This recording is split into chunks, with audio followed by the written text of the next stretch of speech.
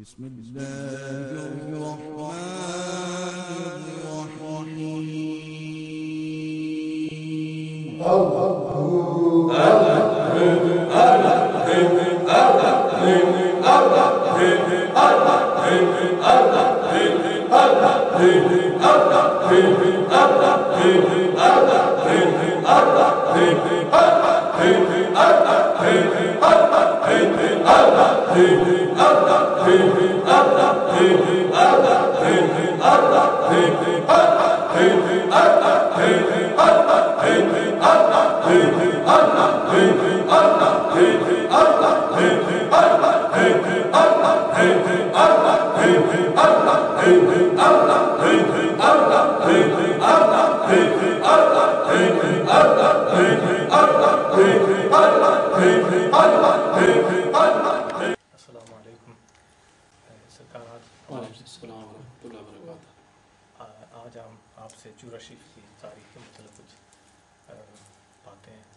जानना चाहेंगे जी तो इस सिलसिले में सबसे पहले आप ये हमें बताएँ कि चूरा शरीफ में बाबा जी सैद नूर मोहम्मद रहमतुल्लाह ताला कब तशरीफ़ लाए कैसे आना हुआ और किसके साथ तशरीफ़ लाए?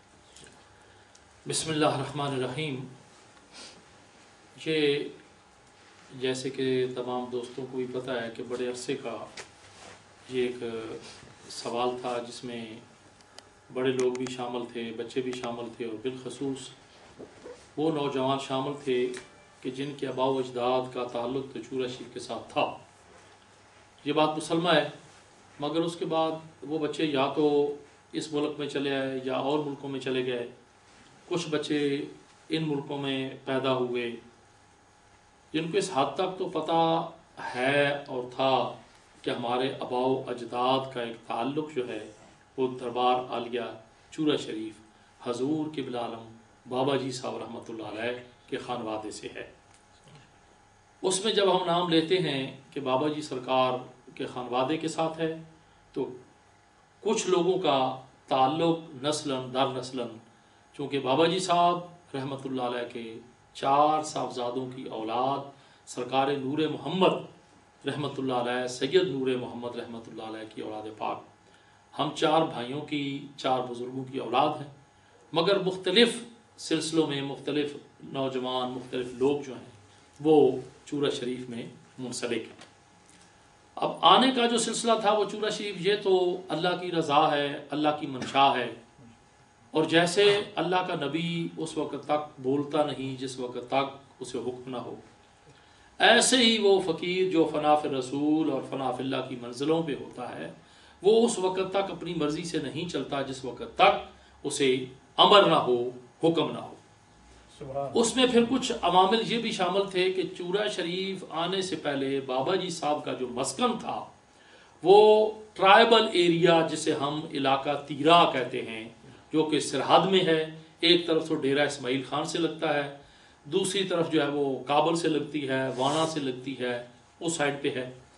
तीरा जो है ये आज तक जितने भी सरहद के लोग हैं ट्राइबल एरिया के लोग हैं इसे ये एक मुकद्दस वादी कहते हैं। तीरा को मुकद्दस वादी कहते हैं। जिसमें शायद कुछ लोगों को ये याद होगा कि बड़ा अरसा तीरा में सड़क का झगड़ा रहा कि वो अफगानी लोग जो थे वो ट्राइबल एरिया वाले लोग जो थे वो सड़क नहीं बनने देते थे कि यहाँ पे यूँ कि चूँकि ये एक मुकद्दस वादी है और इसमें तोहीन होगी शेर व शार होंगे रेडियो चलेगा ये होगा वो होगा। उस इला, इलाका तीरा में एक बस्ती है जिसे अखुंद कोट कहते हैं।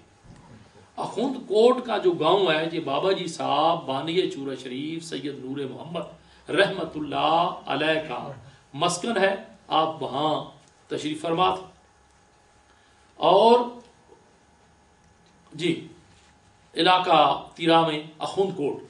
अखुंद कोट में को जो जे लोग हैं, सरहद वाले लोग हैं, पुश्तो जबा, पश्तो जबान में या फारसी जबान में अखुंद कोट सादात की बस्ती को कहा जाता है। अखुंद कोट। वहाँ आपका मस्कन था, आपकी रिहाइश थी। और उसमें फिर दरमियान में ये कैसे हुआ, इसकी मुख्तलिफ़ रिवायात हैं। मगर चूरा शरीफ के बाबा जी साहब के दो खादिम पहले खलीफा, हज़रत हादी नाम दार रहमत और हज़रत बाबा जी खान आलम रहमत कि जो हज़रत बाबा जी खान आलम रहमत हैं ये दरबार आलिया बावली शरीफ है, जो कि करीब करीब है सराय आलमगीर के।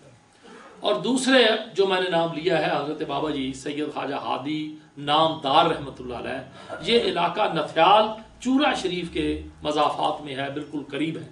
ये दो हजरात जो थे, ये बाबा जी साहब के खुलफा में से थे। अब चूँकि ये उस वक़्त पंजाब से चल के जाते थे, और आगे फिर सरहद का एरिया था फिर आगे ट्राइबल एरिया था। मुर्शद कामल की तलाश थी। तलाश करते करते करते करते मुख्तलिफ़ जावियों से, मुख्तलिफ़ तरीकों से वहाँ पहुँच गए। अब उसमें एक रवायत जो हमें मिलती है, वो ये है कि जब वहाँ पहुँचे हैं तो हज़रत बाबा जी नूर मोहम्मद सरकार के जो छोटे भाई थे, वो बाहर वज़ू फरमा रहे थे। और जब हज़रत बाबा जी खान आलम रहमत ने पूछा कि मैंने बाबा जी को मिलना है तो जो वज़ू कर रहे थे, उन्होंने कहा कि मैं ही हूँ। तो उन्होंने कहा कि जी, नहीं, आप नहीं है, चूँकि मुझे जो शक्ल सूरत दिखाई गई है, वो ये नहीं है। तो वज़ू की हालत में मुस्कुरा के फरमाया कि भाई, तू पक्का बंदा है, बाबा जी सरकार अंदर जलवा फरमा। तीन सफ़र हुए, चार सफ़र हुए, पाँच सफ़र हुए तो इनमें कुछ सहूलतें भी आई। बाबा जी की बारगाह में यह अर्ज़ की कि हजूर, हमें तकलीफ़ होती है। आप यहाँ से सफ़र करके अगर इलाका पंजाब में आ जाए तो हमारे लिए बेहतर होगा। बाबा जी सरकार ने फरमाया कि अल्लाह के हुक्म की इंतज़ार करो, जब अल्लाह का हुक्म होगा तो चल पड़ेंगे। इस दरमियान में जब ये काफिला चूरा शरीफ से दो बंदों का या नथियाल से जी चलते थे तो एक बस्ती अब भी मौजूद है, जिसे हम खाली पुराना चूरा कहते हैं। वो चूरा शरीफ के करीब है। वहाँ का एक बंदा था, अमान बरादरी से उसका ताल्लुक था, वो दो भाई थे। एक अहमद फकीर और एक मोहम्मद फकीर। उनमें से वो भी एक जो था, वो भी बाबा जी के खुलफा में था, वो वो भी साथ जाता था। जब वहाँ जाकर मुलाकात होती। बाबा जी सरकार ने फरमाया कि वक़्त की इंतज़ार करो। अब एक सफ़र, दूसरा, तीसरा, चौथे सफ़र में सरकार ने फरमाया कि अमर हो गया है, हमने यहाँ से हिजरत करनी है। अब वो एक बड़ा अजीब समा था, चूँकि वो एक जागीर थी पूरी। सारा एक सिलसिला था, एक मामला था, एक पूरी जागीर को बड़ा खूबसूरत, जरखेज इलाके को छोड़ना, ये तो बड़ा मुश्किल था। मगर चूँकि फ़कीर ने एक दीन की तबलीग करनी थी, अल्लाह अल्लाह लोगों को सिखानी थी, दीन का सिलसिला था।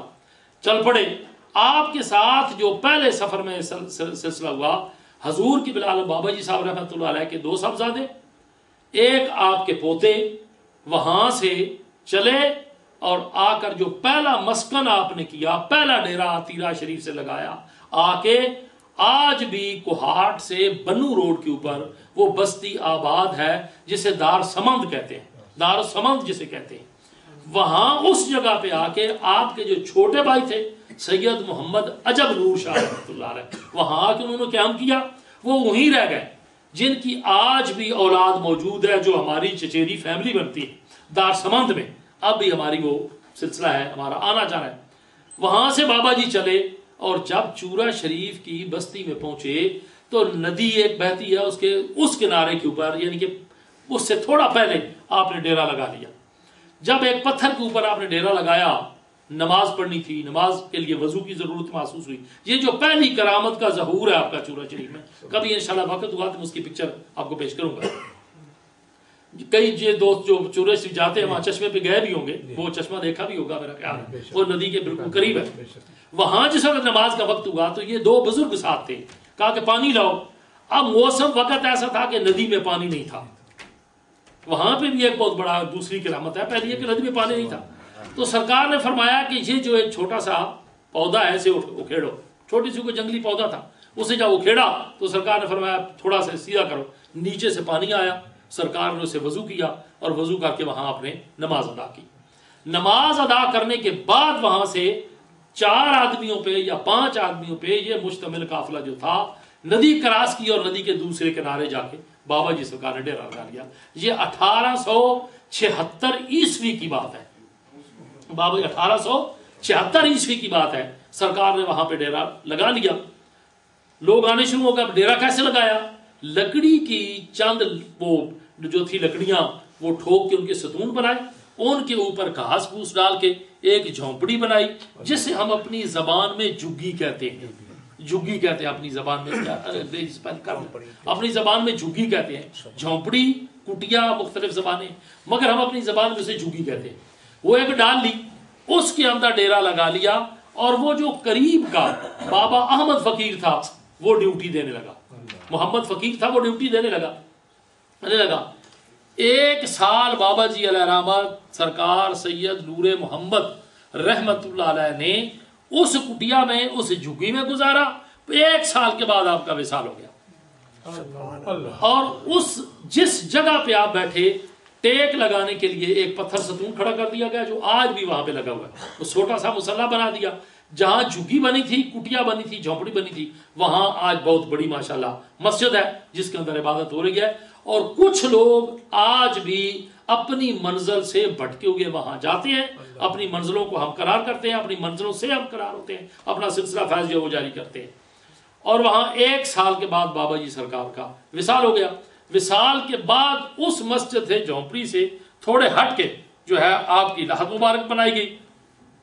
आपको दफन किया गया मदफून कर दिया तदफीन हो गया।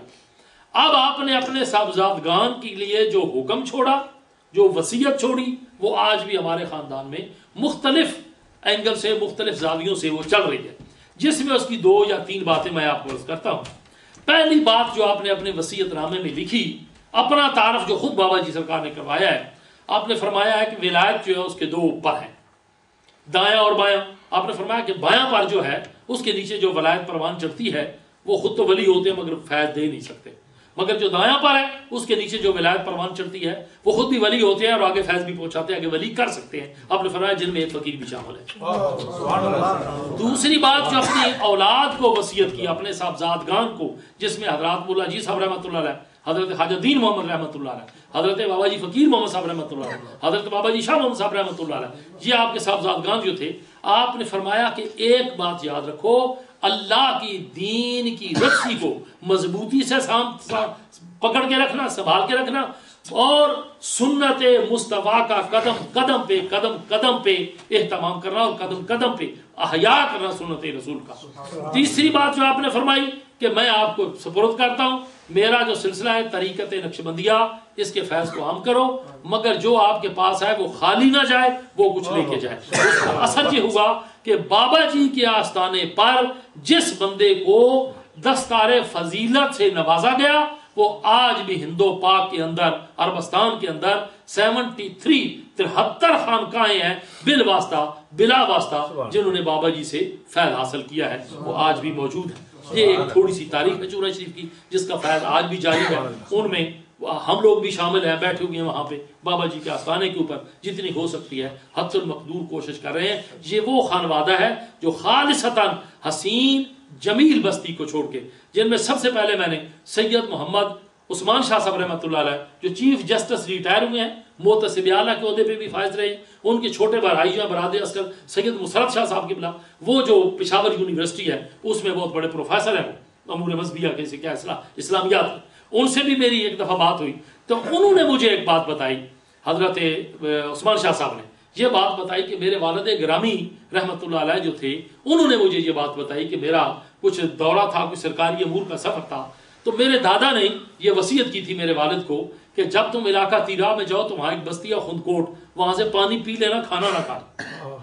तो मेरे वालद ग्रामी ने पूछा कि, हज़रत, खाना क्यों ना खाऊं कहा, इसलिए कि वो चूँकि पूरी की पूरी बस्ती जो है वो बाबा जी सरकार सैयद नूर मोहम्मद की जागीर है।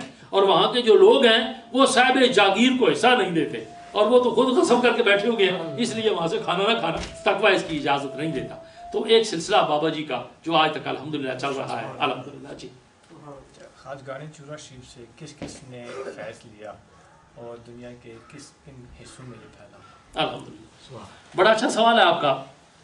बड़ा ये तवील सवाल है और बड़ा तवज्जो तलब सवाल है कि बाबा जी सरकार के चार जो साहबजादगान थे, उन चारों के जो खुलफा हजरात थे, जिन्होंने फैज़ लिया, खुद बाबा जी साहब से जिन लोगों ने फैज़ लिया, उनमें बिला वास्ता जो थे, वो हज़रत हादी नामदार रहमत थे, हज़रत बाबा जी जो थे ख्वाजा खान आलम रहमत थे। और उसके बाद फिर ये सिलसिला हुआ कि पंजाब के अंदर, कश्मीर के अंदर ये जो सिलसिला था, इस सिलसिले को आम किया गया। और उनमें पंजाब के अंदर मारूफ मारूफ खानकाहें, जिन्होंने बिला वास्ता फैज बाबा जी साहब से लिया, उनमें हम ये जो तारफ कराते हैं, उनमें सर अवल जो खानका है, वो अलीपुर शरीफ की है, जो दोनों साहबजादगान, दोनों बुज़ुर्ग बादशाह हज़रत पीर जमात अली शाह सानी रहमत और हज़रत हाफिज जमात अली शाह, जिनको पूरी दुनिया अमीर मिल्लत के नाम से याद करती है। उनका सिलसिला फैज जो है, ये बाबा जी फकीर मोहम्मद रहमत से उनकी खिलाफत है। उसके बाद मारूफ खान का जो हमारे इलाका पुटवार की, वो है ईदगाह शरीफ। हाफिज अब्दुल करीम साहब रहमत जिनका सिलसिला खिलाफत जो है, वो भी बाबा जी रहमत से था। आगे हाफिज अब्दुल करीम साहब रहमत का बिलवास्ता फैज जो है वो फैला। उनमें से जो मारूफ खलीफा थे, वो हज़रत सूफी नवाबदीन साहब थे, मोरी शरीफ वाले, जिनने चार दांगे आलम फिर इस सिलसिले को आम किया। इसी तरीके से अलीपुर शरीफ। आगे फिर हादी नामदार रहमत की खिलाफत जो थी, वो डायरेक्ट इनडायरेक्ट जो सिलसिला पहुँचा उनमें मारूफ पाकिस्तान की खानका मारूफ पंजाब की खानका जो है, वो है आलो मुहार शरीफ, जिसके हज़रत पीर चरण शाह साहब, आलो मुहारवी पीर मोहम्मद अमीन शाह साहब रहमत आलो मुहारवी पीर मोहम्मद हुसैन शाह साहब, आलो मुहारवी। और अभी ये दुनिया से रुखसत हुए हैं हज़रत साहबजादा सैयद मोहम्मद फैजुल हसन शाह साहब रहमत जिनको दुनिया खतीब इस्लाम खतीब पाकिस्तान के नाम से जानती है। इसी तरीके से आज़ाद कश्मीर के अंदर मुख्तलिफ़ खानकाहें हैं, जिनमें अभी ये खानका जो है वो उसका सिलसिला भी चल रहा है भिम्बर के करीब है उस जगह का नाम है चाई शरीफ हज़रत पीर मीरा शाह साहब रहमत वो बाबा जी पीर हैदर शाह साहब काली चादर वाली सरकार के खुलफा में से थे। बड़े हजरात के खुलफा में से जो थे वो बाबा जी थे। नाम तो मुझे उनका कुछ गलती लगे खता हो गई मुझसे। वो जो दरगाह थी वो श्रीनगर के करीब थी जिसे दरबार अतरोली शरीफ कहते हैं। गालिबन उसके जो बानी थे, खलीफा थे, हज़रत सैयद मोहम्मद अब्दुल समाद शाह उनका नाम था। तीसरा जो सिलसिला था मकबूजा कश्मीर में, अब भी चला है, वो बसान शरीफ था, जिनकी औलाद अब भी ये इलाका चकवाल के मजाफात में जलवा फरमा इनका फैज जो था, ये भी बाबा जी साहब रहमत से था। और फिर उसके बाद मकबूजा कश्मीर में जो खानका थी, वो दरबार लार शरीफ था, लार शरीफ, जिनकी औलाद आज सुहावे में बैठी हुई है। हज़रत बाबा जी पीर मोहम्मद अब्दुल्ला शाह आज़ाद हुए हैं और दूसरे बुज़ुर्ग हैं, उनके वालद ग्रामी जिनका दरबार बना हुआ है। इसी तरीके से इलाका मुजफ्फराबाद में जो बाबा जी साहब के एक अजीम फैज याफ्ता खानका है, जिसे दुनिया कैया शरीफ के नाम से याद करती है कैया शरीफ के नाम से याद करती है, वो भी बाबा जी रहमत के खुलफा में हुए हैं। सियालकोट में एक मौलाना मोहम्मद हुसैन पसरूरी हुए हैं, जो कि बाबा जी साहब के खुलफा में से थे। हमारा ये जो इलाका है चूरा शरीफ का, इनमें से जो बाबा जी के खुलफा में हुए, वो हज़रत बाबा मोहम्मद फ़कीर हुए हैं। जिन जिन्होंने आके बाबा जी को जहाँ पे आबाद किया था, वो भी बाबा जी साहब के फैज याफ्ता थे। इलाका कुहाट में ये बेनूरी ख़ानदान है। इलाका पिशावर में बेनूरी ख़ानदान आबाद है, जो बाबा जी साहब से फैज याफ्ता है। अब आगे फिर चल के कोई फैसला, सिलसिला फैज डायरेक्ट हुआ, कोई इनडायरेक्ट हुआ। बाहर कैफ, नक्शबंदी मुजद्दी तरीकत का कैपिटल जो है वो अपने पराए तस्लीम करेंगे कि हिंदो पाक के अंदर जो है वो दरबार चूरा शरीफ है। खानगाह हज़रत बाबा जी सैयद नूर मोहम्मद रहमत बाबा जी सरकार की आल औलाद पर कुछ वजाहत फरमाई कितने आप आपने अच्छा। चाँद पे। माशाल्लाह ये भी बड़ा अच्छा सिलसिला है। एक तो बाबा जी साहब की आला आल का आपने भी औलाद का आपने पूछा है। उसके मुतलक ये है कि बाबा जी साहब रहमत ने जो वसीयत फरमाई है, उसमें आपने एक दुआ की है अपनी औलाद के। लिए जो आज भी मेरी ये दावत खासो आम है, ये किसी एक के लिए नहीं, ये दावत खासो आम है। आज भी अल्लाह तोफीक दे, पाकिस्तान जाओ, चूरा शरीफ का सफ़र करो, एक एक घर का दरवाज़ा खटखटाओ एक एक घर का कुंडा खटखटाओ उसमें बाबा जी साहब ने जो दुआ फरमाई है आपने फरमाया कि मैं अपनी औलाद के लिए दुआ करके जा रहा हूँ कि मेरी औलाद में से बेदीन कोई नहीं होगा।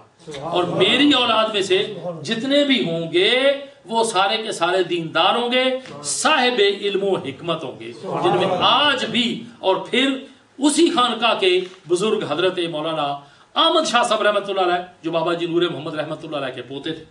आप देवबंद के पड़े हुए थे, बल्कि देवबंद में शेखुल हदीस रहे आप, वो भी आपके साहबजादे थे। फिर उसके बाद आगे चल के उनके साहबजादे हज़रत मौलाना, एक बुज़ुर्ग हैं हज़रत मौलाना मोहम्मद सईद शाह साहब रहमत वो भी देवबंद के पड़े हुए थे। फिर आपके औलाद में से हज़रत पीर खादम हुसैन शाह साहब रहमत वो भी देवबंद के पड़े हुए थे। अला हाजल क्यास आपकी औलाद जिस वक्त देवबंद मसलक नहीं बना था, देवबंद के पड़े हुए थे।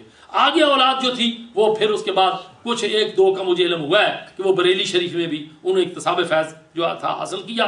मगर ज़्यादातर रगबत जो थी, वो मौलाना फजल रहमान गंज मुरादाबादी की तरफ़ थी, उधर रगबत थी। फिर हमारे इलाके में भी कुछ दरस थे, जिनमें दीन का सिलसिला जो था वो हासिल किया।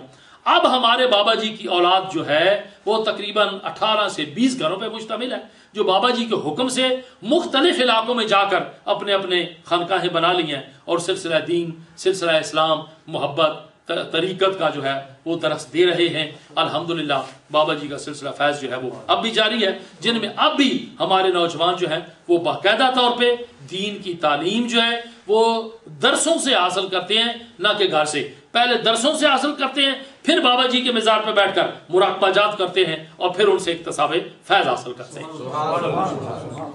अच्छा इस वक्त चूरा शरीफ में कितने मज़ारात हैं और हाँ किन किन शख्सियात उनमें जो हमारा कदीम दरबार आलिया चूरा शरीफ का एक मुकदस कब्रिस्तान है वो वो है जहाँ बाबा जी सरकार नूर मोहम्मद रहमत जलवा फरमा उनमें जो सरकार की औलाद मदफून है उनमें आपके दो और तीन साहबजादगान जो हैं, उनकी औलाद और ख़ुद वो वहाँ पे मदफून जिनमें अब भी, अल्हम्दुलिल्लाह, वो हमारा कब्रिस्तान जो है, वो तीन औलादें जो हैं, तीन भाइयों की औलाद, उनके लिए, वो तदफीन के लिए वो कब्रिस्तान वक्फ है, जिससे हम चूरा शरीफ की अपनी लुगत में, अपनी जबान लैंग्वेज में हम दरबार कहते हैं।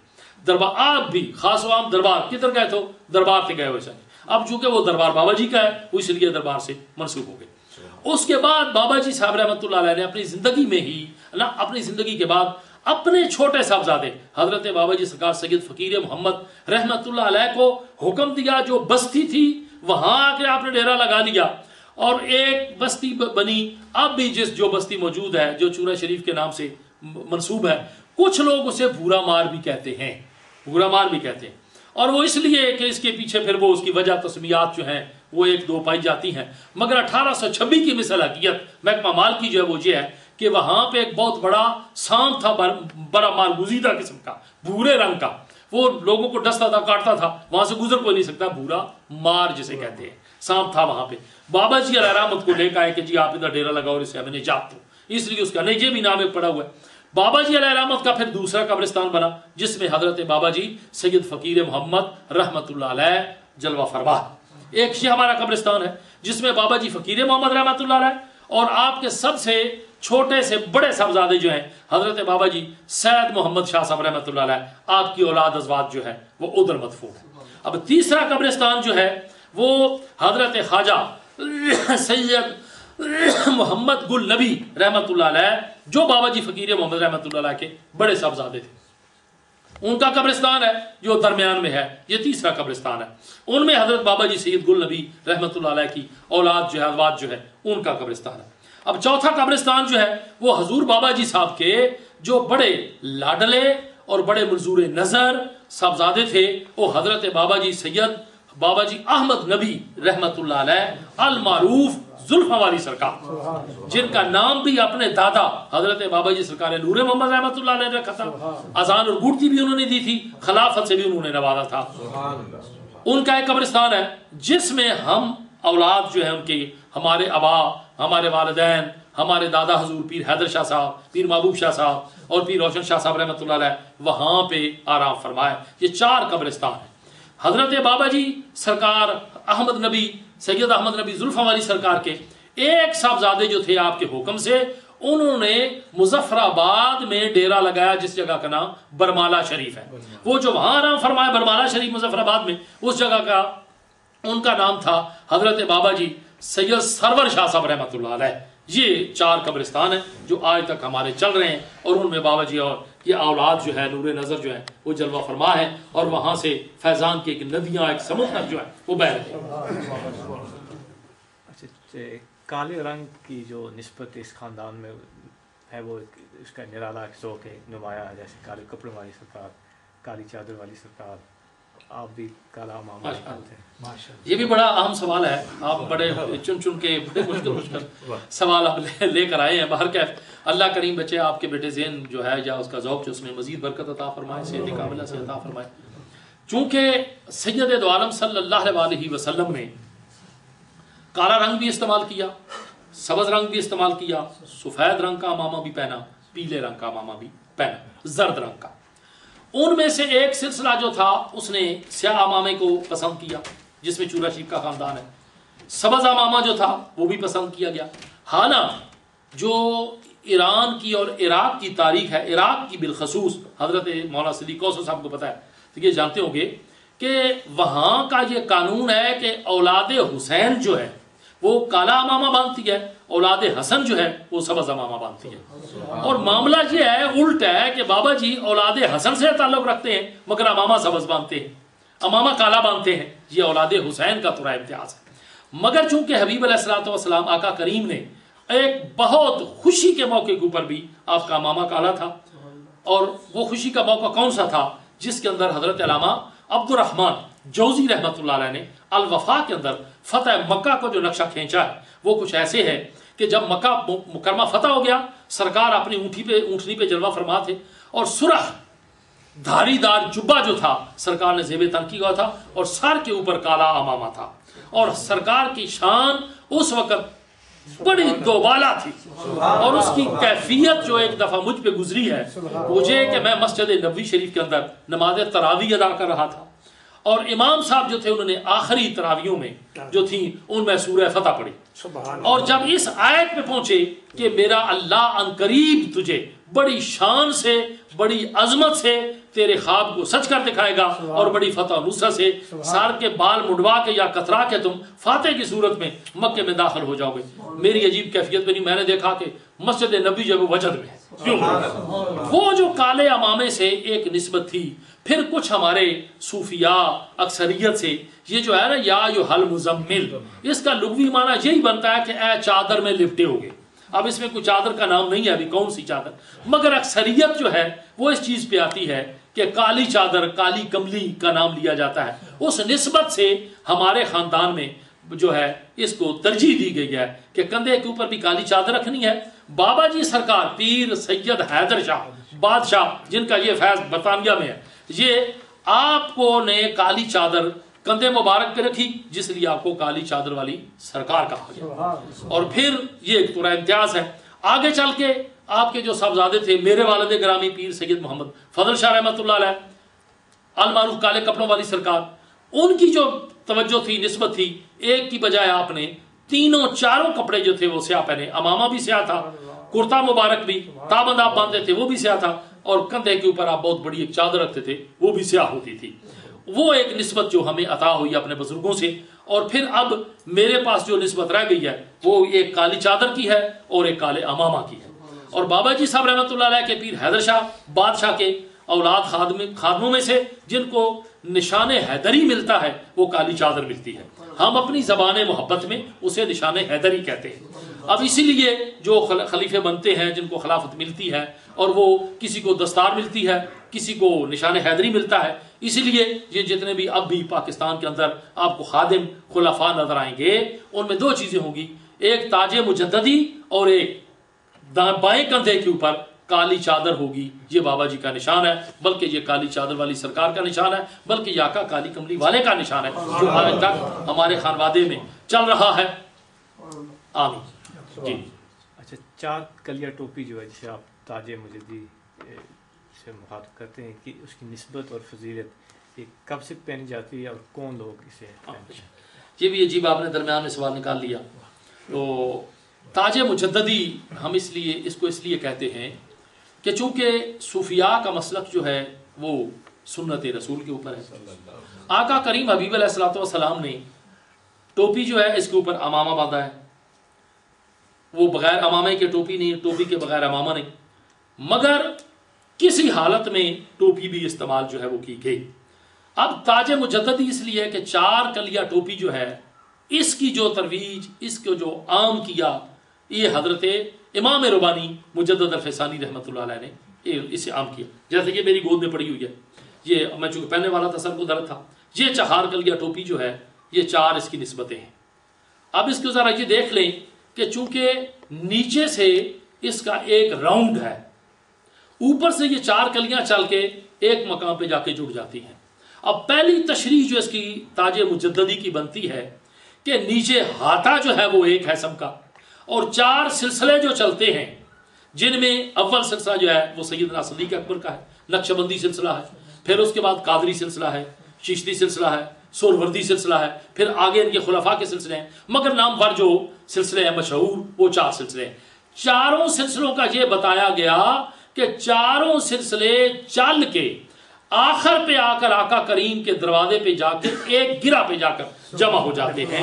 एक तो इसका ये फैज है कि ये चारों सिलसिले जो हैं, वो एक मकाम पे इकट्ठे हो जाते हैं। तुम ये ना समझना कि एक ही सिलसिला है। मुजद्दद पाक ने यह टोपी की तरफ़ इशारा करके ये कहा कि मेरे पास मरकज से रबता है और मरकज से नीचे चल के आए तो चारों सिलसिलों का फैज जो है, वो फकीर शेख अहमद सिरहंदी के पास मौजूद है। अब दूसरी बात यह कि सरकार ने तशरीफ़ फरमाई कि आसमानी किताबें भी चार हैं, जिनका मरकज एक है। आगे चल के आपने फरमाया कि मेरे रसूल के मुकर्रब खलीफे जो हैं, वो भी चार हैं और उनका मरकज भी दर रसूल है। आगे चल के फरमाया आपने कि मुकर्रब फरिश्ते भी चार हैं, जिनका मरकज एक है। इतनी तशरीहात के बाद हज़रत ख्वाजा मासूम सिरंदी, हज़रत ख्वाजा सैफुद्दीन सिरंदी, हज़रत ख्वाजा हाशम किशमी रहमत और उनमें बिलखसूस आपके और मेरे बाबा जी अहमद सरकार सैद नूर मोहम्मद रहमत हज़रत बाबा जी फ़कीर मोहम्मद रहमत बाबा जी जुल्फ़ वाली सरकार, आपका खानवादा आपके जितने भी खुदाम हैं, आज भी अपने सरों के ऊपर ये ताजे मुजदी सजाते हैं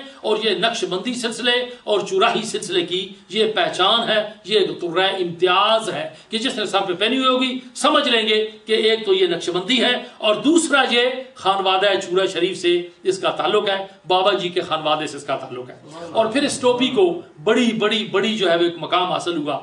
मसलन उनमें मैंने एक ज़िक्र किया था, हज़रत सूफी नवाबदीन रहमत वो जो मोरी शरीफ वाले थे, उनके साहबजादे नूर नज़र थे। हज़रत ख्वाजा मोहम्मद मासूम साहब रहमत मेरी उनसे बड़ी मोहब्बत थी, दोस्ती थी। आपकी जामिया में भी दो तीन दफ़ा तशरीफ़ लाए हैं। उनकी तरफ़ से तो ये हुक्म था हज़रत सूफी नवाबदीन साहब की तरफ़ से ये हुक्म था कि उस वक्त तक मुरीद मुरीद नहीं बनेगा, जिस वक्त ये टोपी ना पहने। अब हमारे चूरा शरीफ में आपको थोड़ी सी ढील इसलिए दी जाती है कि चूँकि आप बरतानिया में रहते हैं, ये टोपी पहले यहाँ से मिलती नहीं थी। अब हमारे मास्टर साहबान हैं, टेलर हैं, जो ये टोपी के माहिर हो गए बनाने शुरू कर दिया अब चूरा शरीफ दरबार में इतनी सख्ती है, इतनी सख्ती है कि जो लोग महफल में जाएँ बाहर टोपियाँ बिक रही होती हैं कि ताजे मुजद्दी वहाँ से हदिया लो सर पे पहन के आपकी महफल में बैठो और आपका फैज दोबाला होगा। अब साहब रूहानियत लोग जो सरों को झुकाने वाले हैं या तो वो सर के ऊपर अमामा बांधते हैं काला मामा बांधते हैं सफेदा मामा बांधते हैं सबजा मामा बांधते हैं। मगर अगर वो तन्हाई में मुसल्ले पे बैठते हैं या चलते हैं तो ये ताजे मुजदी जो है, ये सर पे सजाते हैं, चूँकि ये इसका एक मकाम है, एक तुरा इम्तियाज़ है।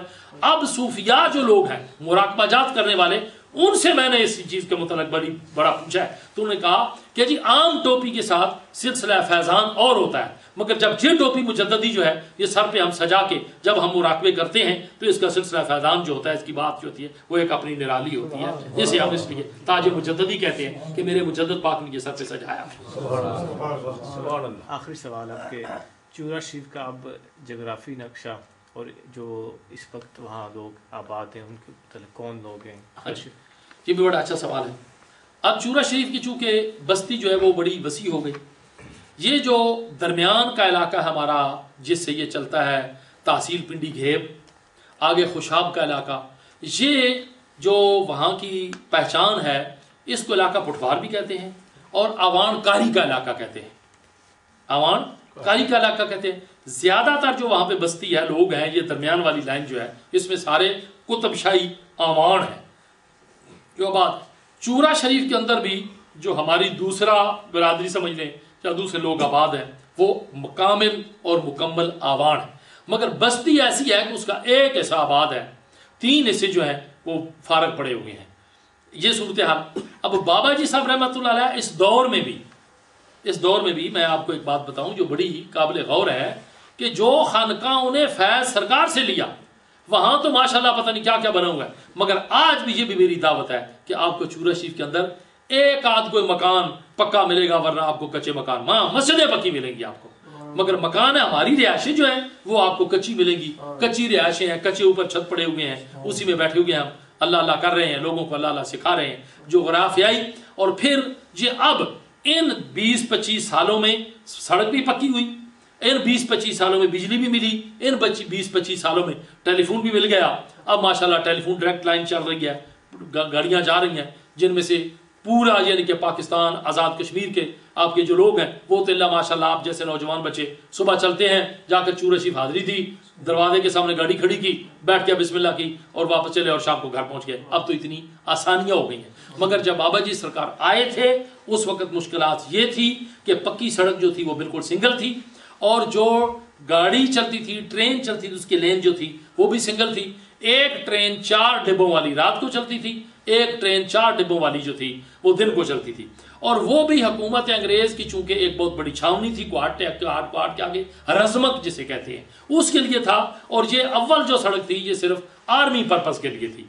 मगर अब, माशाल्लाह, निज़ाम जो है वो बहुत बेहतर है। अब चूरा शरीफ में आपको बिजली भी मिलेगी, चूरा शरीफ में आपको पक्की सड़क भी मिलेगी, टेलीफोन का निज़ाम जो है वो भी मिलेगा इस दौर में। मगर ये अभी की बात है।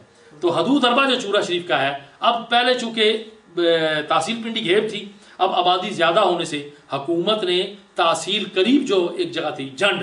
अब तहसील जंड बन गई है, अब हमारा हल्का जो है वो तहसील जंड में है।